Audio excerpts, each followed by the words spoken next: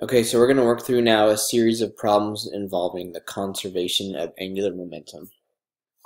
Okay, so um, here we have a this turnstile. Okay, so it's we kind of mentioned one in class the other day. Something you know, like you go to a theme park and you walk past the thing, uh, and it like counts you, and then this would be like a one that's or oriented horizontally and it rotates like this. And so like as you walk through it it rotates and maybe counts you or something or maybe it's preventing someone from walking the opposite direction through it. So anyway we have this turnstile and this blob of mud is going to hit it okay from this angle okay? And we want to find the angular velocity of the system after this collision happens okay? So this is we have a collision happening okay? We have rotation.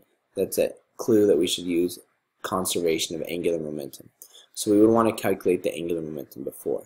So in order to do so, we're going to add the angular momentum of the turnstile plus the angular momentum of the blob, and that would be equal to the angular momentum of the turnstile plus the angular momentum of the blob afterwards. Okay, so before, the angular momentum of the turnstile is going to be, we would need to multiply I times omega. And the reason we're using I omega is because it's uh, object rotating about a fixed axis. Okay, it's a rigid object. It has dimensions, so we can't treat it like a point, so we use I omega. Um, for the ball, we're going to use R cross P because we can treat that one like a particle, which means M times R cross V, or M times r times whatever that perpendicular velocity is. Okay, so if we're looking at this ball, it has a component of velocity this way and a component this way. Okay, to find this one right here, we could use cosine of 60 times that velocity. Since we know this angle, it would give us this side. We could also use this angle and it would be sine of 30. So, what that means for us is this. The angular velocity for that blob will be the mass of the ball, which is equal to m over 3, times the radius, so it's going to pass within, it's going to hit right here, this distance, d. Since we're finding the perpendicular velocity, we can use this distance. If we wanted to use the perpendicular radius, we might trace it and see where it hits there. This is the easier approach on this one. So we're going to use distance d of 0.5 meters. Okay, let's just put d in right now. Okay, so distance d times the velocity times that cosine of 60. Okay, and then for the moment of inertia of the turnstile, we basically have four rods connected, or we could treat them as two like longer ones.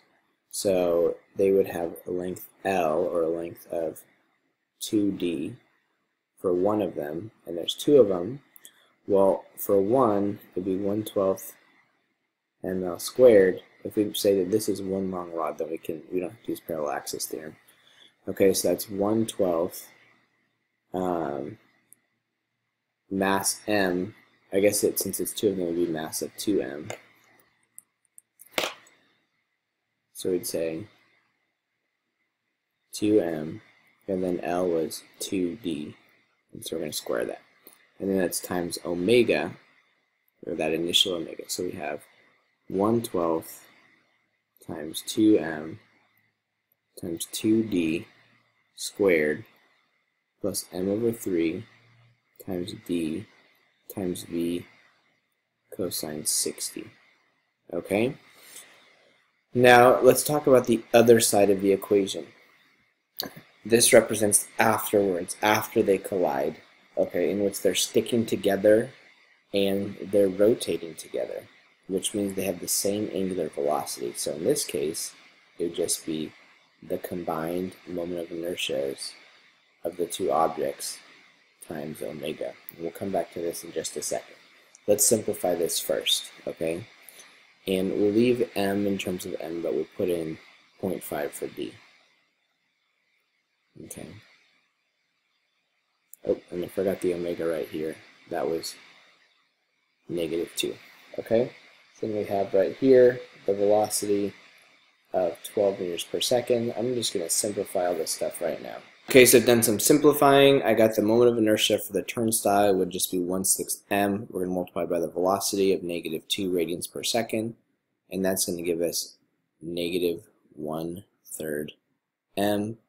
And then for the blob, I have a moment of inertia of, or angular momentum of 1m.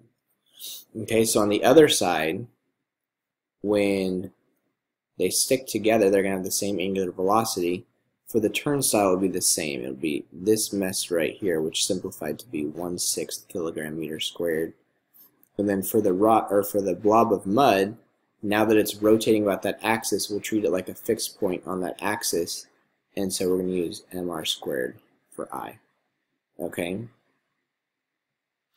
Um, and so we're using this instead of r cross p because now it's fixed and it has that same angular velocity as the other one. Okay, so that would be 1 sixth plus m over 3 times 0.5 meters squared times omega. Okay, so anyway, on this side we finish simplifying and we get um, 2 thirds m and this one is 1 6th m rather. Okay. And then this right here will simplify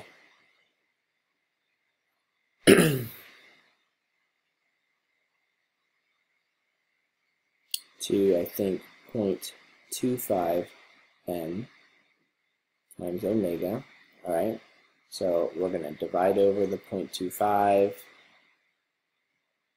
and the m and get that the angular velocity after the collision is 2.67 radians per second. Okay, so it went from rotating this way, 2 radians per second, to after the collision rotating this way at a speed of 2.67. Alright, now this seems like a pretty extreme change, and the reason why it was so extreme is that the mass of the rod and the mass of the ball were so similar. Okay, the ball or the chunk of mud or whatever would not be even within a third of the mass of the rod, so that's probably what happened there. Um, also, I made a mistake, it looks like, because since there's two of them, we want to multiply this by 2. Okay, which means that this should be negative 2 thirds, which means that this would be 1 third okay, which means that our answer is twice as big as it should be. So this should be 1.33 radians per second. So here's another situation. We have a boy sitting on a rotating chair holding a wheel that's spinning, okay, and we want to know what the angular velocity of the boy is after inverting the wheel. Okay, so initially the boy has zero angular velocity. Um, uh, but we're given his rotational inertia, the rotational inertia of the wheel, and the moment of inertia of the wheel. Or sorry, the moment of inertia of the wheel and the angular velocity of the wheel. Okay, so just like before, we're going to use I omega for each piece, okay, since they're fixed, rotating at a fixed axis. Okay, they're objects with dimensions. And to make things easier for us, we're given all of these values. Okay, so initially, let's say that this is for the boy, that's going to equal to 0. And this is what we want to find afterwards. Okay, the moment of inertia of the wheel is 1.2. The initial velocity of the wheel is 3.9 revolutions per second. Okay, the moment of inertia of the boy is 6.8 kilogram meters squared.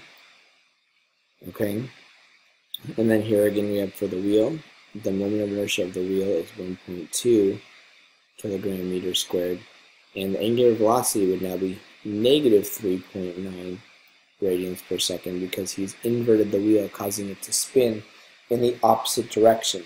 Okay? And what this is going to do, it's going to, the him turning the wheel over, he exerted a torque on the wheel because he changed its angular momentum from positive to negative.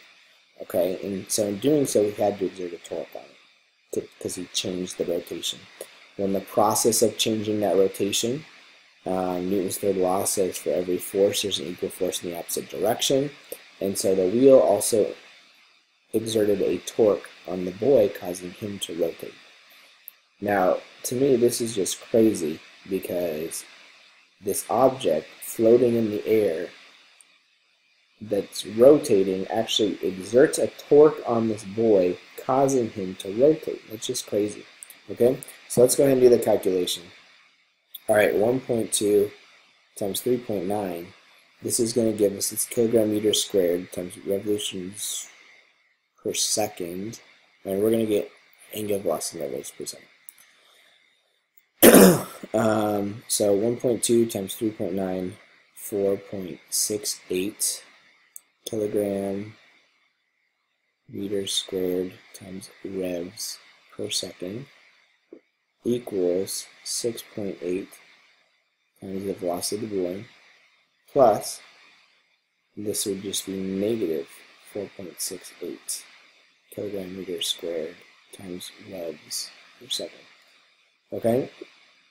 now the reason I'm leaving it in revs per second, all that's going to do for us is give us this velocity in revs per second. Save us a little bit of work. Okay? So we add this over, we're going to get 9.36 kilogram meters squared times revolutions per second equals 6.8 times the angular velocity of the boy. We divide 6.8 over, okay, and this would just be kilogram meters squared, um, and we get that the boy's angular velocity is equal to 1.4 revolutions per second. So what that means is he was stationary, sitting on this frictionless chair. He turned it over, flipped the wheel over, inverted it, and it caused him to spin at that speed. Okay, so that is the power of angular momentum.